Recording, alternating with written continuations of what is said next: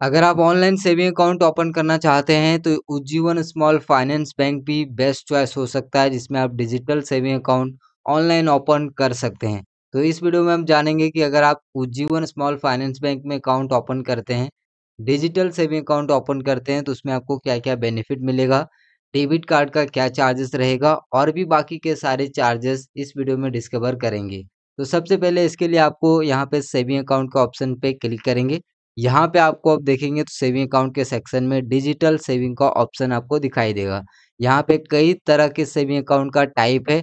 Maxima saving account, privilege saving account, classic saving account, Garima saving account, regular saving account, senior citizen saving account, minor saving account, इस तरह का कई तरह के saving account का type है। Online account open करना है तो डिजिटल सेविंग अकाउंट पे आप क्लिक करिए, इसमें आपको वीडियो के का फैसिलिटी मिलता है। ब्रांच जाने की कोई भी ज़रूरत नहीं है। अच्छी बात यह है कि digital saving account, zero balance account है, इसमें आपको एक भी पैसे अपने अकाउंट में रखने की ज़रूरत नहीं है। तो यहाँ पे आप नीचे आएँगे तो सबसे पहले बात करते हैं एलिजिबिलिटी क्राइटेरिया की कोई कौन कौन इस अकाउंट को ओपन कर सकता है। तो उसके लिए सबसे पहले आपका 18 प्लस एज होना चाहिए अकाउंट ओपन करने के लिए। डॉक्यूमेंट की बात करें तो आपका आधार कार्ड, पैन कार्ड होना चाहिए जिसपे एक ओटीपी सेंड किया जाएगा तो मोबाइल नंबर रजिस्टर्ड होना मस्ट है। अब यहाँ पे फ्यूचर्स की बात करते हैं कि इस डिजिटल सेविंग अकाउंट में हमें क्या क्या देखने को मिलेगा। तो सबसे पहले आप यहाँ पे इंस्टेंट अपना एक अकाउंट नंबर ओपन कर पाएँगे मतलब सेविंग अकाउंट तुरंत ही ओपन हो जाएगा। फ्री डेबिट कार्ड आपको मिलता है एक साल के लिए। डेबिट कार्ड का क्या चार्जेस होगा, वो मैं आपको आगे बताऊँगा। फ्री एसएमएस अलर्ट का फैसिलिटी मिलता है योर रजिस्टर्ड मोबाइल नंबर पे, जो कि एसएमएस अलर्ट का भी कुछ ना कुछ चार्ज होता है। पंद्रह रुपए से लेके पच्चीस रुपए के बीच में जो कि इस बैंक आपको, ये बैंक आपको फ्री ऑफ़ कॉस्ट प्रोवाइड कर रहा है। पाँच फ्री ट्रांजेक्शन आपको मिलते हैं बोथ बैंक के एटीएम से। अगर आप उज्जीवन स्मॉल फाइनेंस बैंक के एटीएम से ट्रांजेक्शन करते हैं तो पाँच फ्री ट्रांजेक्शन आप कर पाएँगे। और अदर बैंक के एटीएम से अगर आप कैश विड्रॉ करते हैं एटीएम के थ्रू तो उसमें भी आपको पाँच फ्री ट्रांजेक्शन मिलते हैं। अगर आप इससे बियॉन्ड इससे ज़्यादा ट्रांजेक्शन करते हैं तो उसके ऊपर चार्जेस होते हैं और वो चार्जेस अप्लीकेबल होंगे। डायरेक्टली आप यहाँ पे बात कर सकते हैं कस्टमर केयर एग्जीक्यूटिव से, वो भी कई तरह के लैंग्वेज सपोर्ट होते हैं और यहाँ पे नंबर्स भी दिया हुआ है।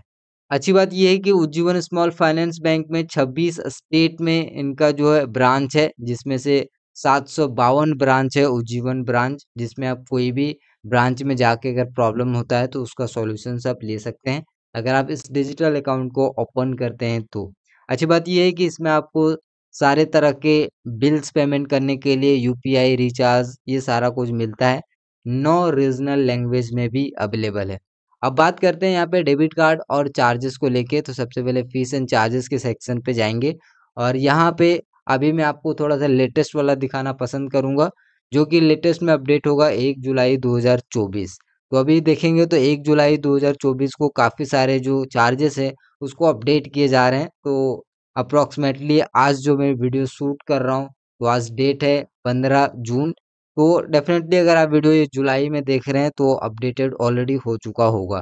तो चार्जेस की बात करते हैं तो यहाँ पे चार्जेस का पेज कुछ इस तरीके से दिखता है, जहाँ पे सबसे पहला जो चार्जेस है, वो है मंथली एवरेज बैलेंस अब चार्जेस में भी यहाँ पे दो तीन तरीके से है, जो मैं थोड़ा सा यहाँ पे जूम करके आपको समझाना चाहता हूँ। तो यहाँ पे लिखा हुआ है एवरेज मंथली बैलेंस रिक्वायरमेंट ऊपर यहाँ पे लिखा हुआ है B S B D account मतलब ये ऊपर जो यहाँ पे सेविंग अकाउंट लिखा हुआ है, यहाँ पे मार्क करके, ये सेविंग अकाउंट है, ये सेविंग अकाउंट है, जैसे कि regular saving account minor saving account senior citizen account और यहाँ पे है डिजिटल सेविंग अकाउंट तो हम जो ओपन कर रहे हैं डिजिटल सेविंग अकाउंट तो हमारा जो भी चार्जेस वगैरह होगा, वो इस बॉक्स में होगा लास्ट वाले बॉक्स में। तो लास्ट वाले बॉक्स में आप देखेंगे तो मंथली एवरेज बैलेंस रिक्वायरमेंट क्या है? यहाँ पे नील लिखा हुआ मतलब कोई भी आपको मंथली बैलेंस यहाँ पे रिक्वायरमेंट नहीं है अपने अकाउंट में। अब यहाँ पे जो नॉन मेंटेनेंस चार्जेस होता है, अब देखिए यहाँ पे ज़ाहिर सी बात है, जब कोई भी पैसा अकाउंट में मेंटेन ही नहीं करना है तो उसके लिए कोई भी नॉन मेंटेनेंस चार्जेस भी नहीं होगा। तो यहाँ पे लिखा हुआ एन ए तो मतलब कि यहाँ पे इसका भी चार्जेस नील है। अब नीचे मैं आपको थोड़ा सा स्क्रॉल करता हूँ और यहाँ पे डेबिट कार्ड के ऊपर बात करते हैं तो यहाँ पे देखिए, अब इसमें से मैं आपको एक चीज़ और बता देता हूँ, अगर आप डिजिटल सेविंग अकाउंट के अलावा रेगुलर सेविंग अकाउंट ओपन करते हैं तो उसमें देखिए मेंटेनेंस बैलेंस वन थाउज़ेंड है और यहाँ पे जो नॉन मेंटेनेंस चार्जेस है, वो भी यहाँ पे दिया गया है, बट डिजिटल सेविंग अकाउंट में सब कुछ यहाँ पे ज़ीरो है। यहाँ पे बात करें तो प्राइमरी डेबिट कार्ड टाइप जो डेबिट कार्ड आपको मिलता है, वो हम ये वाला अकाउंट ओपन कर रहे हैं, लास्ट वाला डिजिटल सेविंग अकाउंट तो इसमें आपको यहाँ पे रुपए क्लासिक डेबिट कार्ड दिया जाएगा। अब रुपए क्लासिक डेबिट कार्ड का जो इस्वेंस फ़ीस है, वो यहाँ पे फ़र्स्ट ईयर यहाँ पे इस्वेंस फ़ीस यहाँ पे कुछ भी नहीं है, जो कि यहाँ पे लिखा हुआ debit card issuance fee first year मतलब कि जो जैसे डेबिट कार्ड अप्लाई होता है उसका कोई भी चार्जेस आपसे नहीं लिया जाएगा। दूसरा है डेबिट कार्ड एएमसी मतलब एनुअल मेंटेनेंस चार्जेस ये जो अप्लीकेबल होगा चार्जेस वो सेकेंड ईयर से अप्लीकेबल होगा। एक सौ पच्चीस रुपये प्लस में एटीन परसेंट जी आपके बैंक अकाउंट से ऑटोमेटिकली डिडक्ट हो जाएगा। लेकिन ये कब होगा?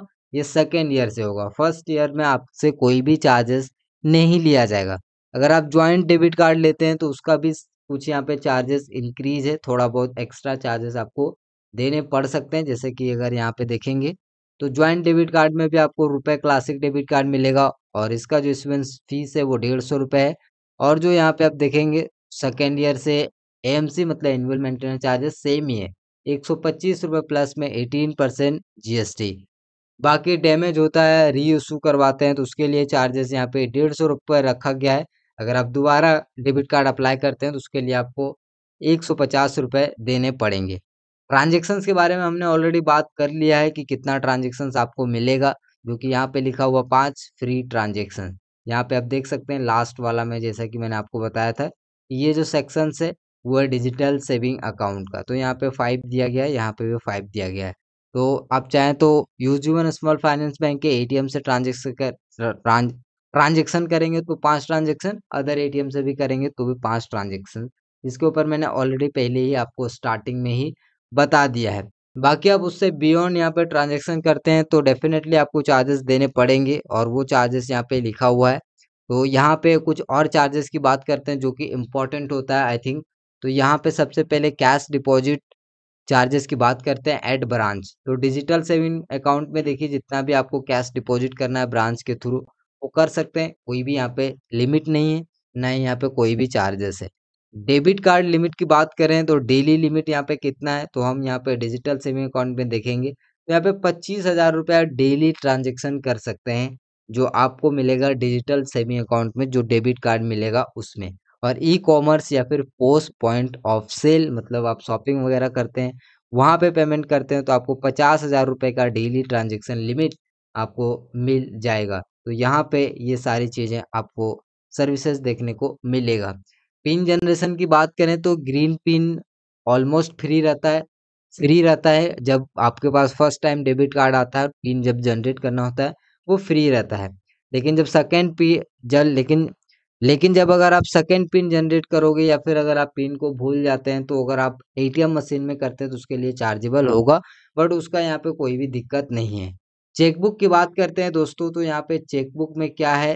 कि आप देखेंगे चेकबुक फ़ीस यहाँ पे है और डिजिटल सेविंग अकाउंट में पच्चीस लिप्स का चेकबुक सिर्फ़ और सिर्फ़ आपको सेवेंटी फाइव रुपीज़ में मिलेगा।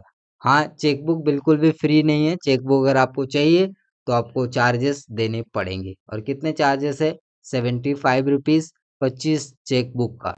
और कुछ चार्जेस की बात करें तो यहाँ पे फॉरेन ट्रांजेक्शन्स के कुछ चार्जेस होते हैं जो ऑब्वियसली हर एक बैंक में होते हैं। कोई भी ऐसा बैंक नहीं है जो कि फॉरेन ट्रांजेक्शन्स को यहाँ पे फ्री में होता हो। कैश विड्रॉल की बात करें दोस्तों ब्रांच के थ्रू ये भी इम्पोर्टेंट है क्योंकि आप बैंक अकाउंट ओपन करेंगे तो कैश विड्रॉ वगैरह भी करेंगे। तो इन फ्यूचर अगर आप ब्रांच से भी करते हैं और ये जो मैं चार्जेस अभी बता रहा हूँ ये सब एक जुलाई से अप्लीकेबल होने हैं। तो एक जुलाई के पहले अगर आप ये वीडियो देख रहे हैं और थोड़ा ये हो सकता है कुछ चेंजेस हो बट एक जुलाई के बाद ये अप्लीकेबल हो जाएगा।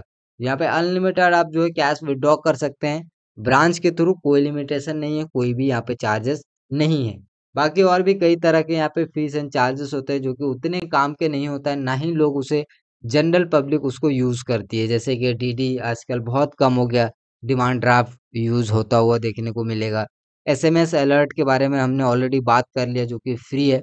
यहाँ पे भी फ्री लिखा हुआ है। क्योंकि जो बेसिक चार्जेस है, डेबिट कार्ड का, चेकबुक का, पासबुक इसमें नहीं मिलता है। अगर आपको चाहिए तो रिक्वेस्ट करके ले सकते हैं।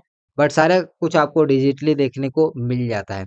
तो उम्मीद है कि आपको सारी चीज़ें मैंने आपको बता दिया इस उज्जीवन स्मॉल फाइनेंस बैंक का डिजिटल सेविंग अकाउंट के बारे में। तो आई होप कि आपको वीडियो पसंद आया होगा। अगर कुछ छूट गया होगा या फिर आपको कुछ इन्फॉर्मेशन की कमी लगी होगी तो प्लीज़ मुझे नीचे कमेंट करके बताइएगा, मैं कोशिश करूँगा आगे और भी इम्प्रूव करने की और और भी इन्फॉर्मेशन अगर कुछ बच गया तो वो भी नीचे बताइएगा। मैं कोशिश करूँगा कि आपको कमेंट में भी जवाब दे दूँ और अगली बार जब भी मैं कोई भी वीडियो बता, बताऊँ, बनाऊँ तो वहाँ पे कोई भी इन्फॉर्मेशन की कमी ना छूटे। तो मिलते हैं अगले वीडियो में, तब तक के लिए दिल से धन्यवाद।